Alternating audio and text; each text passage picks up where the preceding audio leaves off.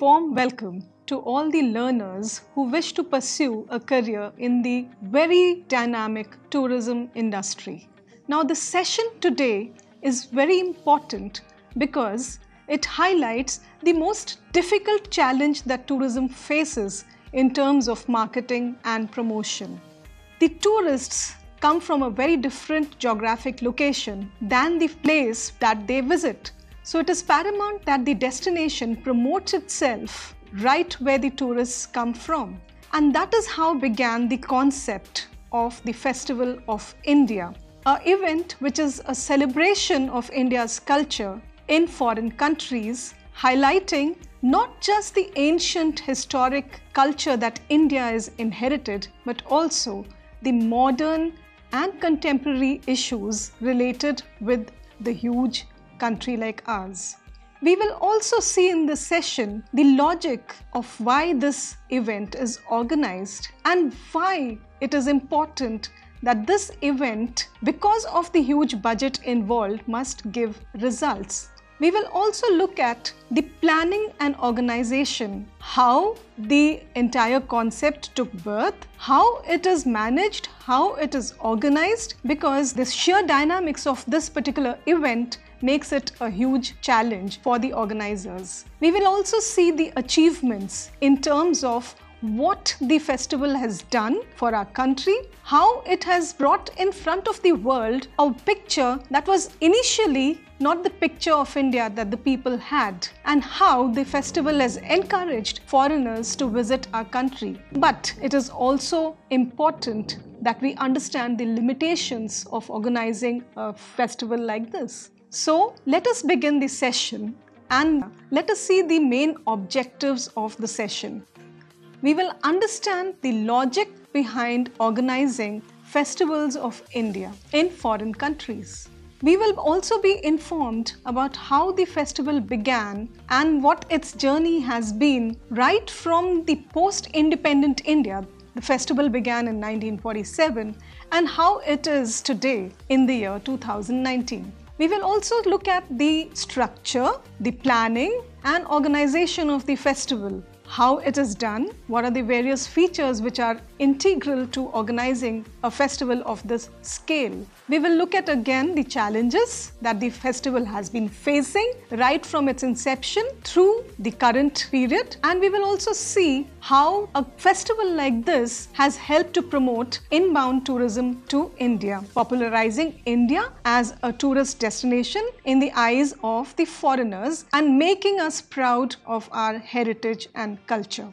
Now, India is a huge subcontinent or it's a part of a subcontinent which is by and large a very unique culture with a very different civilization from that in any other part of the world. Now because the history of India had been written mostly by foreigners, mostly by the Britishers to be precise, the country has been receiving a very contrasting perception than what actually lies in the nation it is very important to change the perception which is very contrary to the reality so that people can understand the richness of our culture and the vast heritage that we have and not only the ancient cultures that we have inherited. How india in the modern world is though transiting from its ancient cultures has still kept alive its heritage. So we will see the cultural heritage, how it has been looking at the various stages, the evolution of Indian cultural heritage. We will also see how festivals of India has made people or the tourists aware of our rich heritage. Especially, these festivals have been organized in tourist generating countries, the countries from where maximum tourists undertake travel to foreign countries. So, India, in its effort, has always concentrated its marketing effort and promotion in these tourist generating countries, and how definitely a festival of this nature has given results to our country in terms of increasing tourism to the country. And of course, the best way to present India as a tourist receiving country, as a destination which is unique, as a destination which has lots to offer, is through the festivals of India. Now let us see how the festival began, how it was conceived, what the background of the Festival of India has been. Now it was immediately after India gained independence, that was in the year 1947-48, that the first ever exhibition of India was held in Britain. To be precise, it was held in the Burlington House, London, where Indian antiquities were exhibited in front of the Britishers. Now, this exhibition was a huge success because the Britishers came in large numbers to look at the antiquities displayed at the exhibition.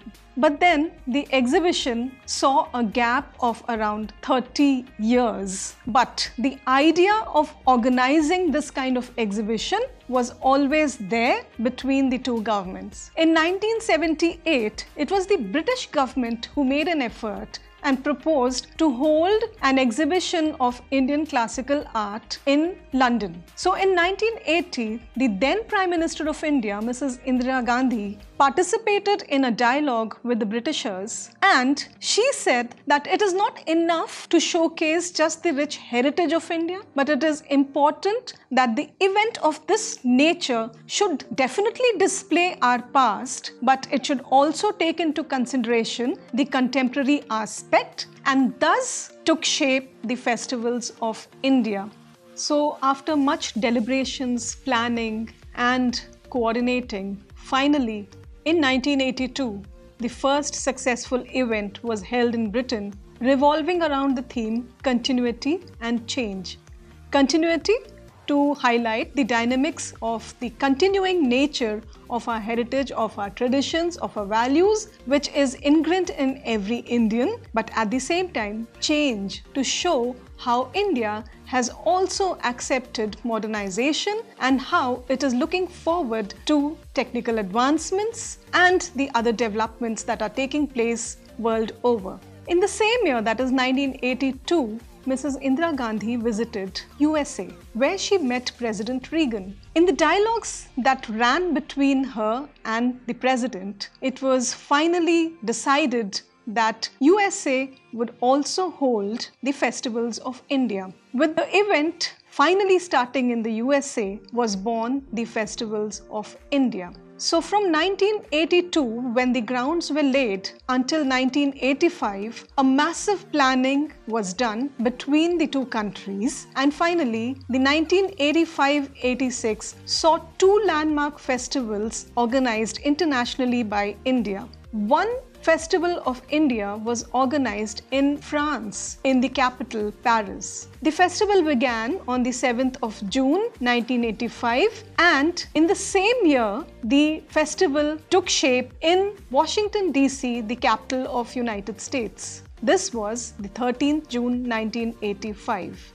So, the festivals of India began in two important countries both very good tourist generating regions and of course the regions that could afford a travel to a country like India. Now let us understand why the event first of all is organized in foreign countries. So it is important to understand the logic and the objectives of organizing an event of this scale. As I had already said earlier at the beginning of the session, that the perception of India in the eyes of people who are not Indians was India was seen as the region of snake charmers, India was seen as the region of beggars, India was seen as only having the Taj and nothing else. So it was very important to change this perception about India so that people received India not just as a country with beggars and snake charmers and Taj, but also looked at the vast richness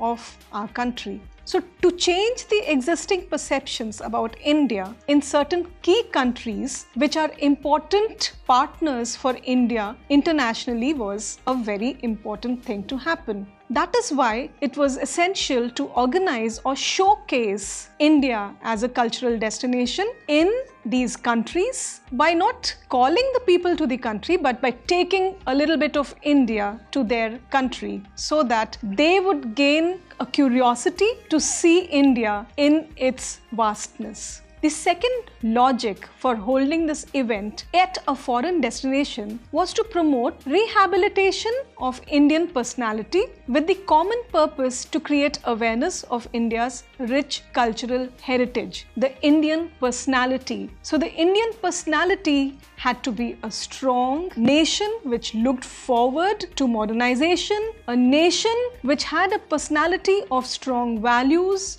of strong customs, of strong traditions, of strong beliefs, but at the same time prepared to accept modernization. And finally, the logic for holding the event was to present India through Indian eyes so as to change perception about India away from the established stereotypes of the colonial past. So it was essential that Indians expressed themselves through their display of arts, through the display of culture, through the display of the performing arts in front of the foreigners so that the stereotypes of what India was in their eyes could be broken and the chain could be finally removed. The chain that had stereotyped India as a particular nation with no specializations. This had to change. The fourth logic to organize an event of this scale at a foreign destination was to present an Indian personality on the international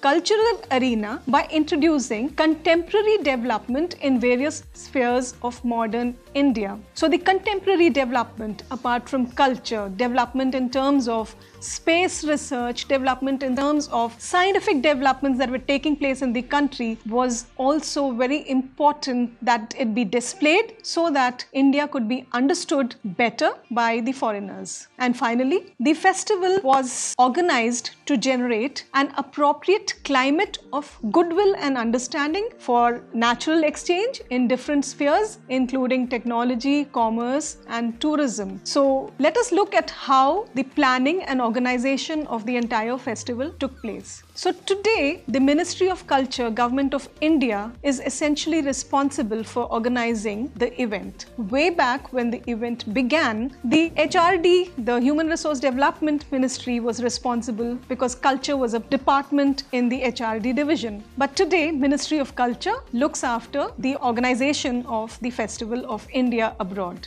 So a Festivals of India cell, popularly known as FOI, was the cell within the Ministry of Culture responsible for organizing the event. Now the Festival of India cell divided its work into two main headings. First, the process that it had to carry out in India and second, the process that had to be carried out abroad, wherever the festival was being organized. Of course, within India, the process involved coordinating with the artisans. That means selecting the artists who were finally going to travel abroad to display their unique talents. So, for this, the FOI issues a circular to invite artists to submit their proposals. Now, artists from India, from all over India, are invited under seven categories. Artists artists who are experts in classical and traditional dance forms, artists who are involved in the modern, experimental and contemporary dance forms, classical music, semi-classical, light and modern music,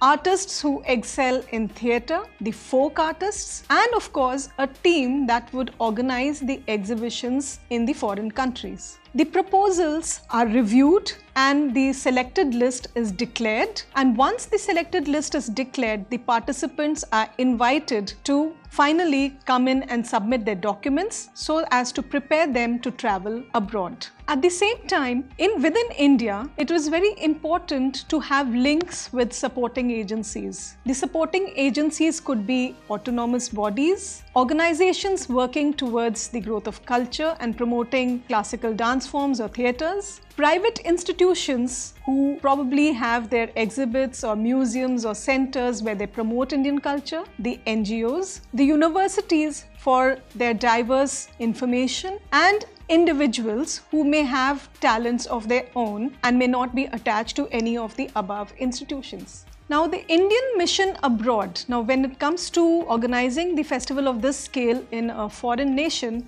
the Indian Mission Abroad becomes the nodal implementing agency. Now, the Indian Mission Abroad communicates with the various teams in the foreign country who would be coordinating for organizing an event of this scale. Now, the achievements and limitations. Now, an event of this scale, of course, involves a huge amount of budget. It involves various aspects, right from contacting the artists to finalizing their lists to organizing the tours so that they travel to the foreign country, arranging for their stay, arranging for the other essential requirements by the artists when they visit a foreign nation. At the same time, the arrangements in the foreign country as to where the event would be organized, as to where the culture would be showcased, the various stages, museums, art galleries have to be contacted, and this, of course, is a huge challenge. But the brighter side is that over the years,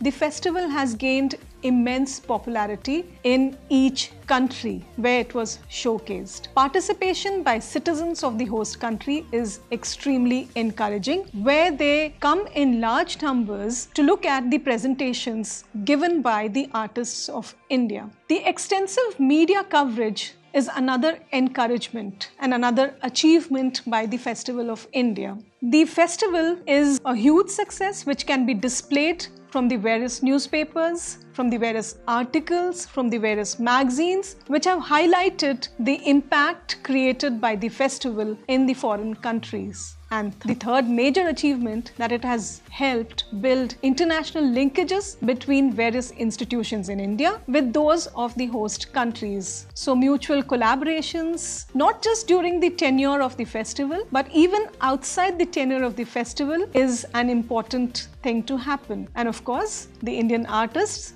gained this through the festival, where they were not just, while being a part of the festival, of course, they saw a huge success in whatever they presented, but at the same time, even after the festivals, they were continuously contacted by the foreigners so that they could once again visit the country. It may not be under the umbrella of the festival, but to showcase their talents in the countries. The festival propagated the publication of numerous books on various aspects of India and in the enrichment of literature on the culture of the country, not just within the country, but of course, more importantly, in the eyes of the foreign nations. It stimulates interest in Indian art and culture internationally. It has popularized Indian folk traditions world over. So, India, which was initially known only for its monuments or for its Taj, for its beggars, through the festival, the popularity was gained by the folk tradition of India, and a lot of interest was shown by foreigners to witness these unique, colorful, and rich traditions that India has. It has led to the exchange of ideas and values through the various seminars, workshops, and exhibitions that are a part of the events. So, apart from the cultural dynamics of the Festival of India, a lot of interactions in terms of stimulating talks through seminars and conferences were also organized, which was a huge success and a great achievement for India. Cultural exchanges also directly enhances the development of commerce and trade from which of course our nation has gained. So when we have cultural exchanges, of course, it leads to commerce and trade because there is a better understanding amongst two different cultures and this understanding of course brings a closer tie between the two nations. One of the most encouraging outcomes of the festival is the boost in inbound traffic to India as tourists want to witness and experience firsthand the dynamism of India. So, just showcasing India through the festival was not enough. The people of the foreign countries were encouraged and were eager, were curious to learn more about India. And thus, this festival gave a huge, huge impetus to the inbound traffic to India. Now, within the nation, within the country, it inculcated a revival of pride in the Indians and stimulated the conservation and protection of our cultural heritage. Now, of course, we also have to look at the limitations that the festival has. You can see the barriers for organizing this kind of a festival. And the first one is that the event requires a high amount of revenue for arranging for the accommodation, travel, and other necessary arrangements for the selected organizing staff, participants, and artisans. So, revenue generation is a huge challenge and sometimes poses a barrier. Apart from looking after the people who are going to visit the foreign country, the cost of transportation of materials required for staging the event is very high. The infrastructure needed for organizing this event had to be carried from India. Various museum displays had to be taken from India and had to be protected at the same time. So the cost of transportation definitely for these fragile items was very high. Then it requires time-taking communications and negotiations with the host country for hiring space on a large scale and for a substantial period of time. Since the festival it takes place over a period of time, it's not just a matter of a few days or one or two weeks. Hiring space becomes another challenge. And of course, raising the funds for organizing an important festival of this level is in itself a difficult issue and you have to really hunt for the funds from where it is going to be generated and this may sometimes be a problem. A huge amount of money is also required for printing and publicity. Publicity, of course, not in India but in foreign countries so that more and more people visit the various exhibitions, the various concerts, the various programs that are organized during the Festival of India. Now, since the event is held in different countries every year, the country where the Festival of India takes place changes every year. It is a challenge to organize low cost activities on a sustained basis. And finally, a feedback mechanism to audit the success of the event has really not been sufficient. As a result, the immediate benefits that India gains from organizing this event cannot be witnessed. It takes some time to understand the final result of the festival. Now these are some of the pictures of the various successful stories. You can see some of the highlights from different countries. You can see I've highlighted pictures from United Kingdom, the pictures from Switzerland where the event was organized, from various other countries where the event was very successfully organized by India. And finally, to sum up the session, what exactly the session has taught us? Festivals of India promotes India's living and composite culture very successfully. So, Festivals of India, though saw a short break from 2005 to 2013, the festival was not organized because India was losing out somewhere. It revived in the year 2013. And since 2013, we have not look back. Model developed by India contributes in international cultural exchanges and thus many other countries have also adopted this particular concept and have organized their own festivals in different places.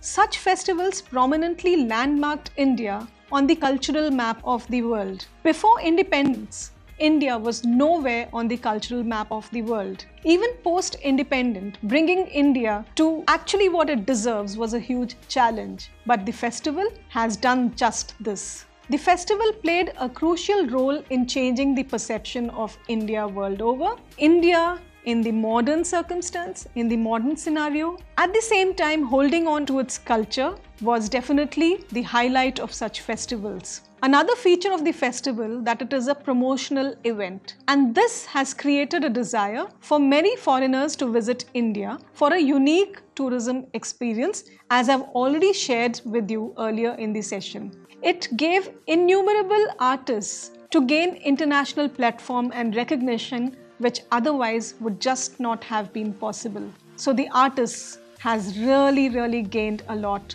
from the festivals of India. So overall, the Festival of India has been a very successful program right from the time when it was conceived till today and it will definitely see more progresses and more successes in the futures to come. In the recent years, such festivals are organized not just in a single country but jointly in sometimes more than two countries in the same year. For example, in the year 1918, the festival was simultaneously organized in Switzerland and in Tunisia.